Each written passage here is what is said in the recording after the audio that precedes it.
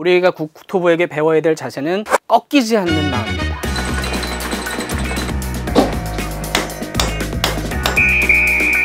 우리 정부가 나서서 식별된 조개처럼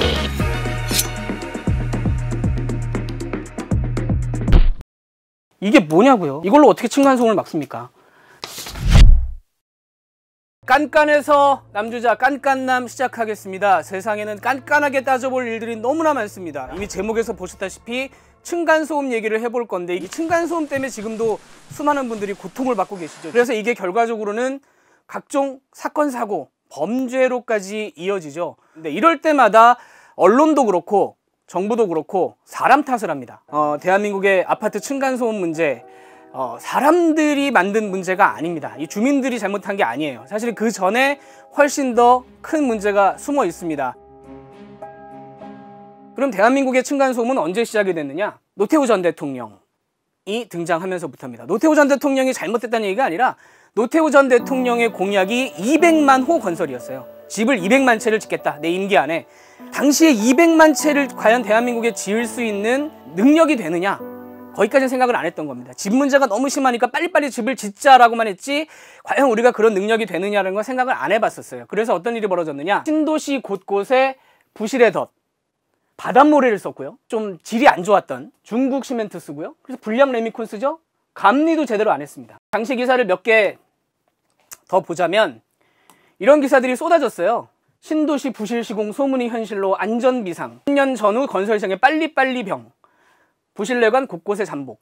이때부터 아파트를 좀 쉽게 쉽게 짓기 시작한 겁니다. 그러면서 어, 층간소음 문제가 본격화하기 시작했어요.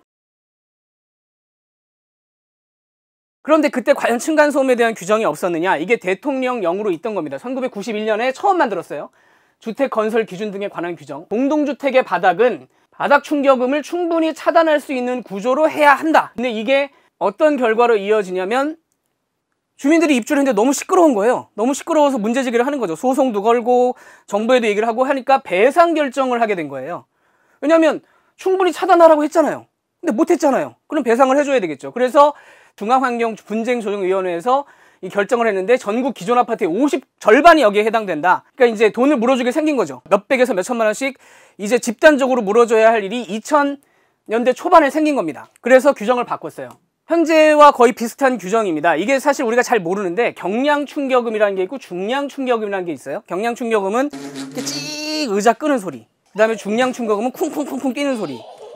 경량 충격음에 이 정도 이하로 만들어야 되고 중량 충격음은 50데시벨 이하여야 한다라는 규정을 2004년에 처음으로 도입을 합니다. 아 이제 규정이 생겼구나. 저걸 지키면 되는 거구나. 이 이하로만 아파트를 지으면 사람들이 층간소음을 안 느끼겠구나 라고 해야 되는데 여기에 한 가지 이상한 조항이 들어가요. 어, 바닥 충격음을 충족하는 표준 바닥 구조를 고시할 수 있다라는 말이 들어갑니다. 일종의 건설사들에게 면죄부를 준 겁니다 이런 바닥, 이런 모양으로 바닥을 만들면 아까 그 기준을 충족한 것으로 인정해 주겠다라는 조항을 아까 그렇게 짧게 두 줄로 어렵게 써놓은 겁니다. 바닥을 이렇게만 만들면 된다는 거예요. 그 중에 제일 중요한 게 완충제라는 거거든요. 우리가 보통 아는 소리를 이게 먹어줘야 되는 겁니다. 이, 이 중간에 들어있는 이 부분이 쿵쾅쿵쾅 하는 소리를 얘가 점, 엄청 흡수를 해줘야 아랫집에서 문제가 안 생기는 거겠죠. 근데 완충제라는 게 뭐냐? 그냥 우리가 배달용으로 쓰는 왜 그 냉동식품 들어있는 그런 스티로폼 뭐 이런 거 저런 거 다 해서 그냥 스티로폼이 2cm만 넘어가는 것만 끼우기만 하면 층간소음을 없앤 걸로 인정을 해준다라는 정부가 면죄부를 준 겁니다. 문제는 이 건, 건설 현장에서는 실제로 이렇게 샌드위치를 만들 거 아니에요? 그런데 이 중간에 또 이렇게 그 미숙련공들이 많아서 이렇게 공간이 뜹니다. 잘 안 붙어요. 스티로폼에다가 뭐 붙여보면 잘 안 붙잖아요. 그럼 여기에서 종 같은 효과가 발생해요. 뛰면 오히려 이게 더 웽 하고 울려서 아래층에 더 두 배, 세 배로 전달되는 그런 문제까지 발생을 하게 되는 겁니다. 몰랐느냐? 건설 현장에 있는 사람들은 알았어요. 건설 현장에 있는 사람들은 알아서 이걸 쓰면 책임을 정부가 져준다는데 2000년대 이후로 지은 아파트엔 전부 이 2cm짜리 얇은 스티로폼이 들어가 있어요. 그러니까 층간소음을 막을 수가 없죠. 이걸로는. 2019년에 처음으로 20년 가까이 지나서 감사원이 층간소음 문제를 들여다봤습니다. 당시에 감사원이 실제로 지은 아파트에 가서 때려본 거예요. 표준 바닥이라는 걸 지어서 인정을 거- 국토부는 해줬지만 야 진짜 그게 거- 과연 층간소음 막는 게 맞냐 검증을 해보자라고 들어가서 때려본 겁니다. 공공 아파트예요. 그러니까 임대 아파트나 LH가 짓는 아파트를 먼저 보, 겠습니다 2등급, 3등급이라고 했어요. 대부분 민간 아파트 3등급까지 없습니다. 아예 때려봤더니 3등급까지는 안 나와요. 아예 없어요. 그나마 28%는 4등급인데 72%가 등외입니다. 지금까지 국토부는 20년 넘게 이 거짓말을 하고 있었던 거예요. 그동안 20년 동안 국민들에게 거짓말을 하면서 너네들이 뛰어서 그래, 너네들끼리 예의를 안 지켜서 그래라고 거짓말했지만 알고 보니까 너네가 알면서도 거짓말 했잖아. 라는 게 감사원의 결론입니다. 1편은 예고편이었습니다. 이게 본편입니다. 한번 보시면 2019년에 감사원이 처음으로 층간소음 문제를 들여다봤어요. 감사원이 이렇게까지 지적을 하면 부처는 바꿔야 됩니다. 2020년에 국토부가 아 이제 아셨어요? 예, 뭐 그럼 바꿔볼게요 하고 방안을 발표합니다. 이렇게 한번 생각을 해보겠다. 그리고 2022년 작년 8월에 최종 방안을 발표를 합니다. 층간소음 걱정 확실히 덜어드리겠습니다. 그런데 이게 2020년 국토부가 1년 뒤에 내놓은 내용인데 그래서 결론은 뭐냐? 사후 확인 제도를 하겠다. 건물 지어놓고 아파트 지어놓고 마지막에 그러면 검사를 하겠다라고 물러섰습니다. 사후 검사한 정보를 입주자들에게 다 전달을 하고 공개를 어, 함으로써 그런데 여기에 국토부가 여러 가지 첨가물을 넣습니다. 첫 번째 첨가물 바닥 충격음 측정 방법을 바꿨습니다. 자, ISO 국제 기준에 맞춰서 개선을 한다. 애들 달리는 아까 저 1편에 말씀드린 중량 충격음 측정 방법을 임팩트 볼이라는 걸로 바꾸겠다라고 써놨습니다. 이게 지금 우리가 쓰고 있는 방법이에요. 뱅머신이라는 방식입니다. 타이어가 7.2kg짜리고요. 요게 기계가 요거를 바닥을 때려요. 그럼 아래층에 있는 이 측정기가 소리를 듣고 이 컴퓨터로 아 이거는 소리가 얼마나 나옵니다 라고 측정을 해주는 게 이게 백머신이라는 방식이에요. 그런데 국토부 얘기는 이번에 이걸 없애야겠다. 이 방법을 쓰지 않겠다. 그래서 뭘로 바꾸냐? 요겁니다. 요게 배구공만한 크기예요. 배구공만한 크기의 고무공입니다. 2.5kg짜리고요. 사람이 1m 높이에서 떨어뜨립니다. 이 방식이 ISO 기준이다. 국제 기준이다. 요게. 그런데 여기도 한번 따져볼 점이 있습니다. 중량 충격음, 사람이 이렇게 뛰는 걸 측정하는 나라가 전 세계에 몇 나라냐? 몇 나라가 되길래 ISO 국제 기준이 있는 거냐? 두 나라가 있습니다. 대한민국과 또 한 나라. 일본입니다.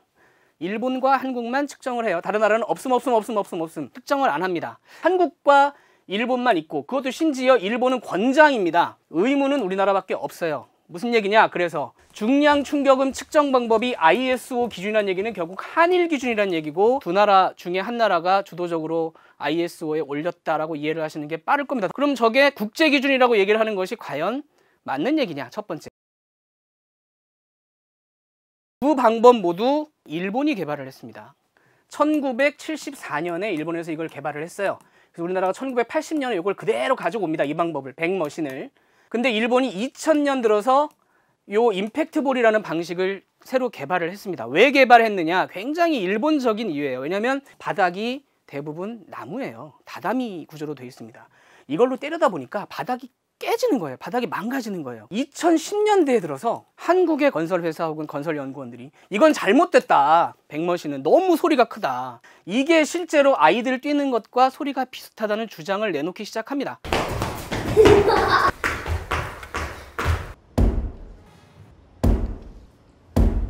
그래서 실제로 10년 전에 우리 정부가 임팩트볼을 도입하겠다고 발표를 했습니다. 백머신은 충격력이 과도하기 때문에 임팩트볼을 같이 쓰겠다.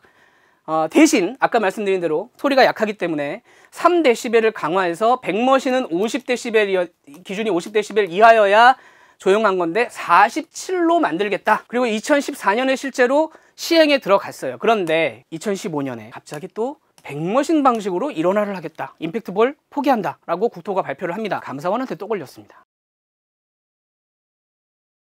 3dB 강화했다. 47로 갔다. 감사원이 본 거예요. 왜 3이냐? 2도 아니고 4도 아니고 왜 3이냐? 아까 공청에 말씀드렸죠? 실험한 것이 아닙니다. 제가 몸으로 가렸어요. 중요한 부분을. 실험한 것이 아니라 출처 불명의 건설사들이 준 겁니다. 걸렸어요. 완전히 걸렸습니다. 이 3데시벨은 건설사들이 3데시벨로 하시조라고 한 걸 국토부가 법으로 만들었다는 겁니다. 여기서 끝이 아니고요. 직접 실험한 게 심지어 있었습니다. 실험을 했더니 평균 차이는 5.7이었어요. 실제로는. 근데 건설사가 3이라고 준 걸 그냥 썼다는 겁니다. 왜 그랬느냐? 자, 그때 지어진 아파트를 100머신으로 때려봤더니 어, 등급 외 그러니까 기준을 못 지킨 게 49%인데 임팩트블로 치니까 5%로 내려가더라는 겁니다. 100머신으로 하면 등급에 등급에 등급에 등급인데 임팩트블로 치면 전부 합격입니다.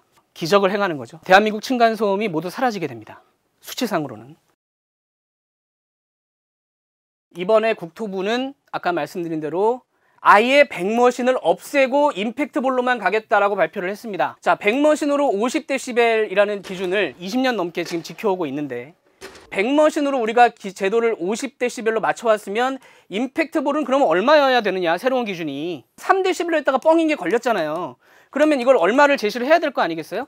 여기서 엄청난 창의력이 등장을 합니다.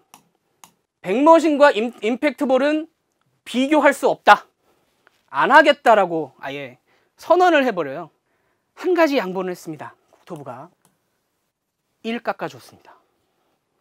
아까 3이었는데 그렇게 5%만 불합격하고 전부 합격했다고 했으니까 1로 낮췄을 경우에는 대한민국의 사후 층간소음 측정에서 불합격 나오는 아파트는 0에 수렴할 수 있다. 근데 요거에 대해서 국토부는 얘기하지 않겠다. 이럼에도 불구하고 떨어지는 데가 나올 수도 있잖아요. 걱정이 많습니다. 그러면 안 되는 거잖아요. 그래서 꼼꼼하게 2차, 3차, 4차 부재망을 가동을 합니다. 전체 아파트를 측정하지 않아요. 2%를 측정합니다. 이게 1차 방어망이고 2차 방어망 검사했어요. 공개하지 않습니다. 누구에게만 공개하냐?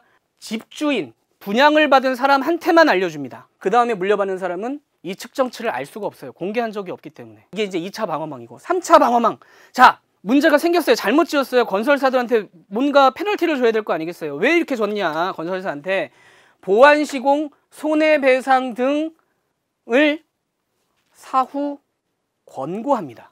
어, 고쳐주실래요? 아니요? 그러세요? 네. 끝입니다. 이게 뭐냐고요? 이걸로 어떻게 층간소음을 막습니까? 그래서 세 가지 얘기를 드리려고 합니다. 제도가 100머신 50에 맞춰져 있는데 임팩트볼 49로 이게 되겠냐는 거죠. 이거에 대한 제대로 된 답을 내놔야 될 겁니다. 그리고 또 한 가지. 아까 측정한 사후 측정을 한 걸 집주인한테만 알려준다? 왜요? 그 돈 들여서 한 걸 왜 집주인한테만 알려줍니까? 공개를 하고요. 건설사별로도 순위를 매겨서 공개를 하면 건설사들이 그런 짓을 못 하겠죠. 제도를 만들려면 똑바로 만드는 게 좋을 것 같고요. 두 번째, 정책 실명제라는 게 있습니다. 어떻게 누가 정책을 그동안 이렇게 만들었느냐. 층간소음 문제는 어디에도 이런 게 남아있질 않습니다. 누가 이 일을 했는지를 우리가 나중에 따져보려고 해도 따질 수가 없고요. 그 다음에 지금까지 층간소음 문제로 국토부에서 징계를 받은 공무원이 한 명도 없습니다. 그 다음에 마지막. 1, 2편에 매번 등장했던 이 감사원. 건설사가 3대 11을 제시했다는 걸 감사원이 아니면 우리가 어떻게 알겠습니까? 감사원이 들어갔기 때문에 아는 거란 말이에요. 우리가 정말로 눈여겨보고 좀 관심 갖고 만들어야 될 제도는 균형과 견제다. 국토부가 어떤 행동을 하고 어떤 부처가 어떤 행동을 할때 그럼 누군가 가서 그걸 들여다보고 잘못된 걸 교정하는 어떤 그런 시스템이 갖춰져 있어야 된다. 누군가 내가 이렇게 한 거를 발견할 수 있고 내가 잘못될 수 있다라고 한다면 저런 시도를 하지 않을 거란 말입니다. 이 문제가 아직 어, 이 작년에 발표가 돼서 내년 말 정도에 실행에 들어갑니다. 실제 실행은 임팩트 볼로 가는 거는 내년 말부터예요. 충분히 고칠 수 있는 시간이 있거든요. 그렇기 때문에 뭔가 실행에 들어가서 어, 국민들의 삶에 정말로 영향을 미치기 전에 초기에 막을 수 있는 일은 빨리 막았으면 좋겠다. 대한민국 국민들 절반이 아파트에 살고 있습니다. 이 아파트에서 살 수 있는 삶을 조금 더 평화롭고 아름답게 살 수 있도록 제도적으로 우리가 모두가 관심을 갖고 고쳐야 될 때입니다.